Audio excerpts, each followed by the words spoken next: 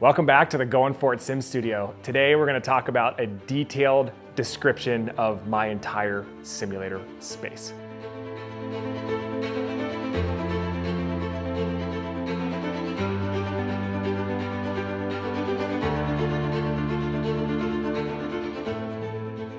This area that I'm in now is actually my garage.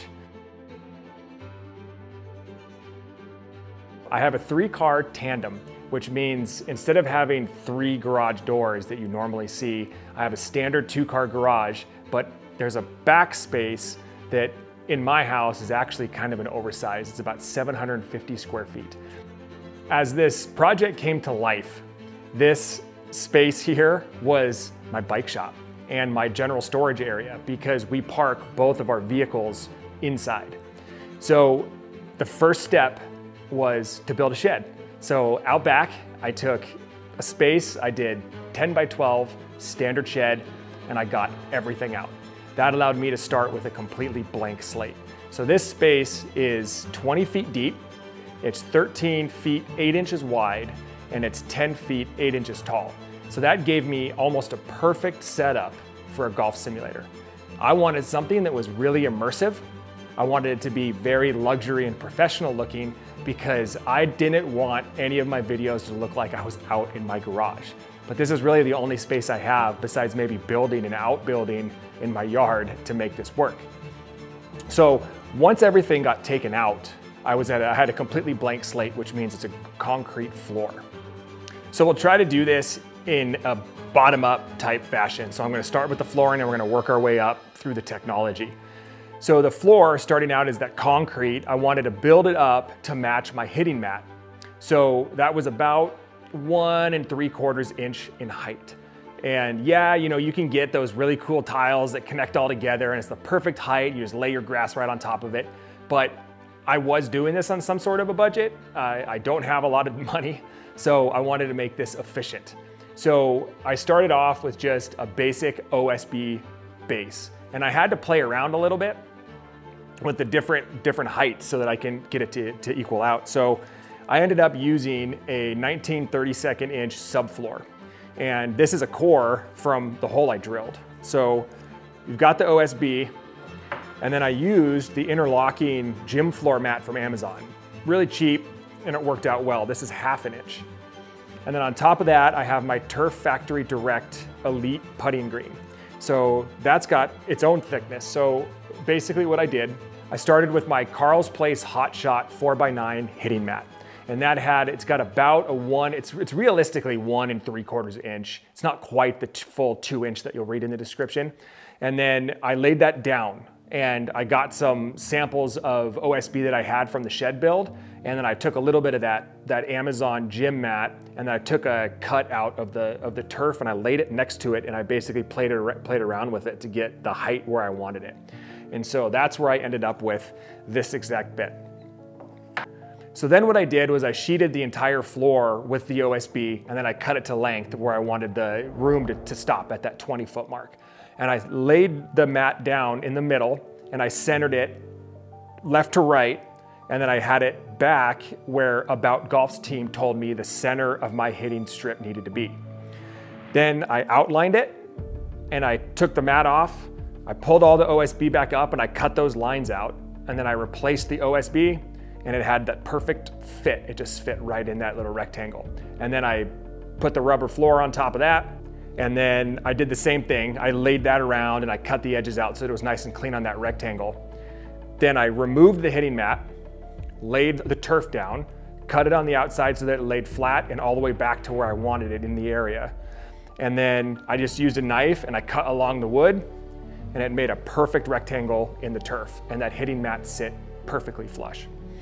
So to utilize the floor space even further, I bought two cups online and that were the right height. I think I got one and a quarter inch cups, I think, just to make them sit a little bit under the, under the grass.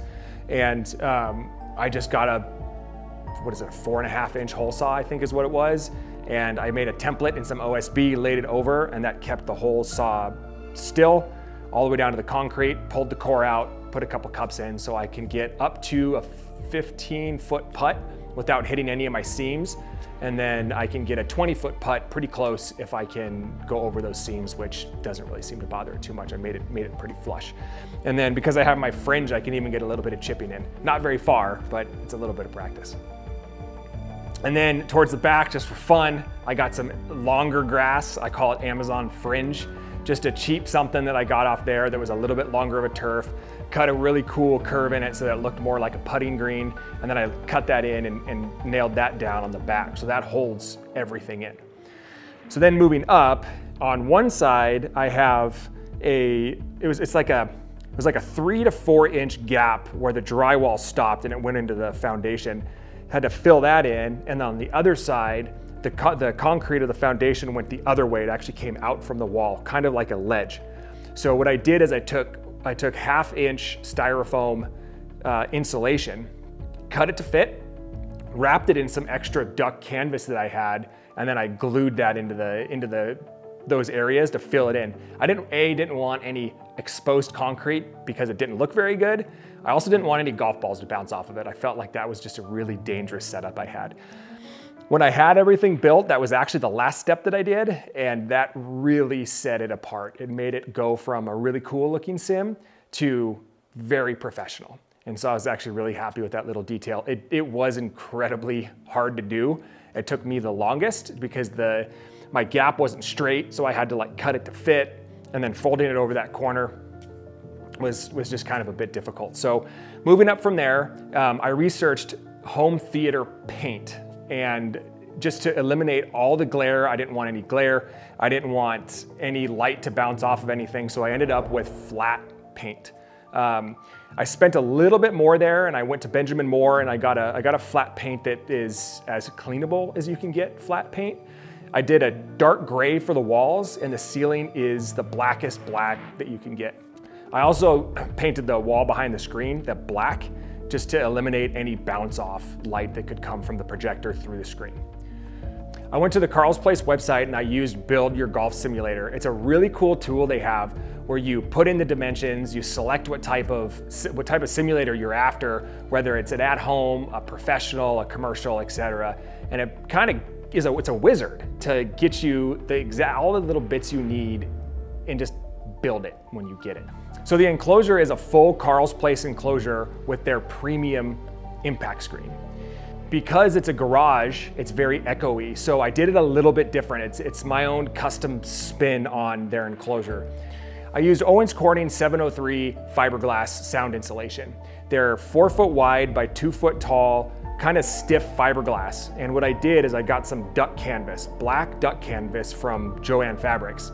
And I just wrapped it around and I used spray glue and I made it stick on the back and I cut it so that it fit. And that's how I made my impact panels. Now, I saved a significant amount of money on this. When I priced it out for just doing the bare minimum, kind of what I have, didn't come out far, 48 inches. It's really not that far.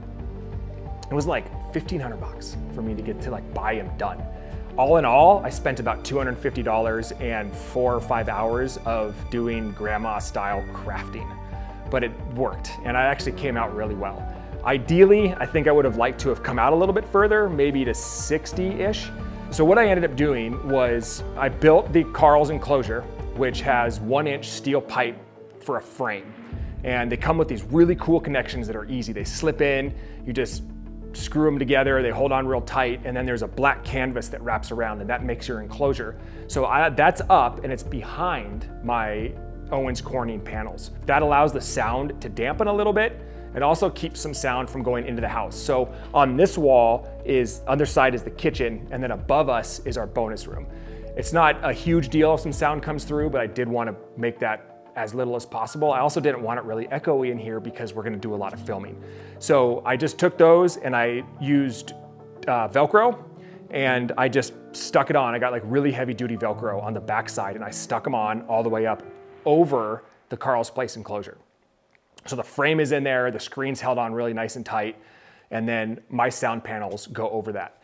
And then up on the ceiling, what I did is the exact same thing. The enclosure is actually there, but I hid it all with an inch styrofoam insulation sheet. And then I got those, those acoustic panels, the square ones that have the little pyramids on them and I glued those on. So I wrapped the outside portion that you could see of the white with, again, more of that black canvas. And then I just screwed them to the ceiling as full, like four by eight sheets. So with that, what I get is if the ball hits those cone-like uh, acoustic panels, it just bounces down. Um, it's not necessarily force sound, although it does help a little bit, but I really do feel like that when the ball hits it, it diverts it down. It doesn't make it bounce kind of goofy ways. I thought of different ways because I have so much space up there because my screen only goes up nine feet, just, just under nine feet. I think it's like eight, eight feet, nine inches, something like that. Um, I had a big gap there. So what, what I ended up doing was taking black canvas and I just put a sheet over to block the hole. And then I thought about putting some baffles down, but I couldn't quite figure out how to make it work. I didn't want to buy anything else. So I came up with this idea just to wrap those styrofoam panels, stick them up there, and it's actually worked out quite well. Again, I think I should have come out to 60 inches. Uh, as you can see, there's some ball marks up there. Not mine. I haven't put a single one up there yet, um, but buddies who've been here golfing, they have managed to, to hit the ceiling and leave a couple ball marks, which I'm okay with. This is a simulator, right? It's, it's not gonna be perfect forever. Um, they are somewhat hidden, so I'm okay with it. They're kind of battle scars, right? So the impact screen that I use, the Carl's Place premium screen has been nothing but great. It was important to me to have dual use in this. I didn't want to just spend my time and money building a golf simulator. I wanted something that would increase the value of my home and something that my family could use. So I wanted it to be a home theater, something that we've done quite a bit already. And the screen allows a gorgeous cinema picture as well as my golf impact screen. Uh, is it as good as a cinema screen? No, but it's really close. I've come in here, put uh, animals in 4K on YouTube on the uh, screen and just sat in here for hours watching birds. It's, it's really cool to watch. It just looks so good. Um, and, and now, being a couple months into this project, that screen has seen upwards of 7,000 balls and it still looks as good as it did when I pulled it out. I mean, yeah, you can see some ball marks on there, but I can't believe how well it's held up. I'm excited to see how far I can take that. So to utilize my projector, I needed a 4K aspect ratio. I couldn't quite do a four by nine. It made the screen just, it, it was too short. I didn't want to have a six and a half foot screen. So we chose to do a 16-10 aspect ratio to give me, I still get the 4K and it's a little bit taller. It's just not the cinema width. So Carl's actually helped a lot with that. Carl's was really good at explaining to me the best screen size for my space. I highly recommend giving them a call if you have any questions. They're incredibly nice and they will not steer you wrong. So I did opt for the, for the frame foam panels from Carl's Place. So the entire frame is wrapped in this triangular memory foam to keep the balls from hitting it and directly impacting that steel frame. I cannot emphasize enough, if you guys get a Carl's Place enclosure, spend the extra money on the foam. I have hit that so many times and I can only imagine where those balls would have gone. For me, that's really important because I've got vehicles behind me and the last thing I need is an errant ball to hit a window or dent, dent a panel. Um, so I've definitely gotten my use out of it and it's one of my favorite parts of the enclosure build. Part of what I wanted to do again was the, it's the dual use system. So the projector was really important to me. Um, I could have saved a lot of money and just gotten a projector that got the job done. But because I'm gonna be out here every single day, I needed something that immersed me in this unit.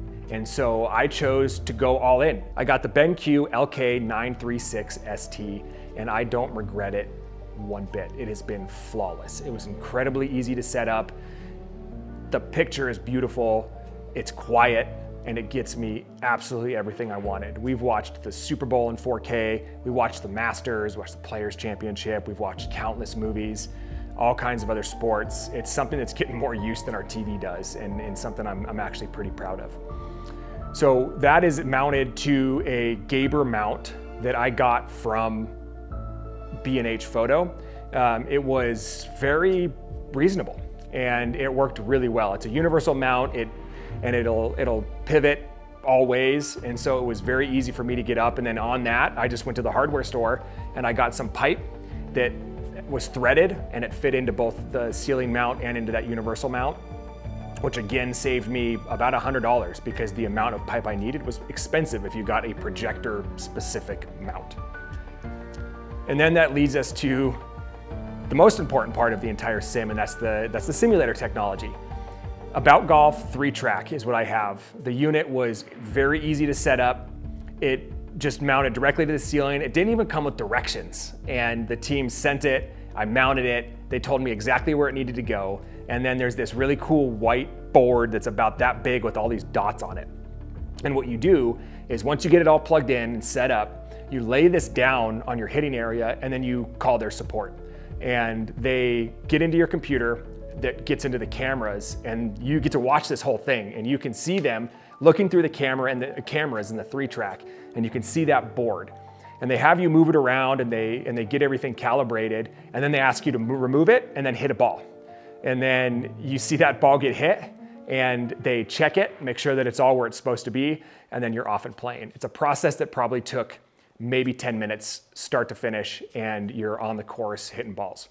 Very easy process um, and in fact, I've had to use their support twice. I've had some issues with my mobile account, and it was very quick, incredibly responsive. The support staff over at aboutGOLF have been really wonderful to work with. Initially, we weren't sure if my space was wide enough to, to accommodate for both left-hand and right-handed golfers. So when we initially started planning this out, it was move it over to the right and it was gonna be right hand only. Um, luckily, the team over at aboutGOLF made it work. And we found the right spot to where I can accommodate both. And it has been extra fun because I don't get to leave any of my buddies out who are on that lefty side. On my side, I'm 6'2", and I have really long monkey arms. And so when I would hit driver off that middle impact area where the tees, like the, the normal tees are set up where you just put it in the rubber tees or whatever. Um, if I had just a janky follow through on my driver, I'd hit the wall. So I learned that if I move to the outer seam, I still get the green dot on the 3Trak system, and that gives me six more inches and plenty of room for me not to hit anything. And that really increased my confidence hitting the driver. So it was just a little bit of a learning curve, like where in that impact area can I hit to, to swing and it, it get the correct clubs. I did have a buddy over that was 6'5", and he just couldn't get it out of his head. He kept thinking he was gonna hit the wall. We stood behind him and he wasn't anywhere near it. Uh, I think he probably could have hit a driver, but sometimes when you have that wall behind you and you're expensive driver, you don't necessarily want to hit it. So my space maybe not be ideal for everybody, but it's something to keep in mind when you're building your sim. Really kind of think about who's going to come play, what's around you, because I never thought about that during the whole process. I just assumed, hey, I've got plenty of room. But when you get that driver in your hands, that stick is long, especially if you're tall. Um, and I don't have a whole lot of room to spare, but it worked quite well. Okay, so now we're gonna talk about wiring the whole thing up. So there is a lot of wires involved with this. You have, you've got wires for the projector. The, the 3Trak has multiple wires, has a power. It's got uh, ethernet that goes to it, and it's the same thing with the projector. So then what you get into is cable management. How do you make it look good? So I ran it through the walls. And my outlets out here, since it was a garage made for workbenches, all the outlets were like, you know, chest high. So I blocked them out and I moved them down. If you're afraid of doing any electrical, it was a very easy process. Watch a few videos on YouTube, turn off the breakers, and just get after it. It's, it's a lot easier than, than, than you may think it is. So the other thing that I wanted to do was future-proof the whole process. So with all my cords ran along the wall, it goes up through the top plate. And what I didn't want to have to do is if I needed to run something in the future, whether it was for surround sound or run another HDMI cable, I didn't want to have to recut into the wall just to get access to the holes that I drilled through the top plate. So what I did was put these blank covers on the ceiling and on the top of the wall up near the corner. So if I ever have to do that again, those plates come off and I've got perfect access. Um, I did get this really cool Klein tool that's a magnet on a handle and it has a jobby that connects to the, the wire. You tape the wire to it and you just run it up, or I mean, you run down, you want to go with gravity. I did it backwards because I was lazy. Um, and it, and it, what it does is it actually pulls the, the wires up against the insulation and the drywall, and it was $60 well spent. If you're gonna do a project like this, even if you're only gonna run a couple wires, go to Home Depot and buy it. It's worth every penny. Um, I was able to get, I ran six wires and it took me 15 minutes and it was flawless. I didn't lose a single one of them. So to keep things extra clean, I ran power and installed an outlet on the ceiling in between the 3Trak and the projector so that I could have the shortest wires possible going in and plugging into that outlet instead of having to run a really long power cord through the wall. Um, taking the outlet plug part, running that through a wall, it's not recommended. It's probably gonna be so difficult that you wish you just would have put an outlet in the ceiling. Accessories that I've done, I've added my logos to the wall. I went to Sticker Mule, got some really good decals that I think look great. They're very durable, came out really well. Um, I'm lucky enough to have a graphic designer as a wife, and so she designs everything that is graphics and uh, always comes out impeccable. Um, I installed a really cool table that, that folds up so I could pull my truck in, and it's a, it comes down and it's bar height, and I've got some bar chairs that when friends come over, they could put their drinks on here, we can have some food here, we have a nice little place to hang out kind of behind where everybody is sitting really kind of put everything together and it made this feel like a hangout spot and not just a simulator in a garage. Highly recommend making some accommodations for your friends when they, when they come in. That's it. I think that's... All right, now for the best part, let's put it to the test.